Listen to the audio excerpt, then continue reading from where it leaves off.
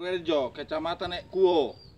Anti anti isu sara, anti ujaran kebencian. Kami siap mensukseskan Pilgub 2018. Pilgub yes!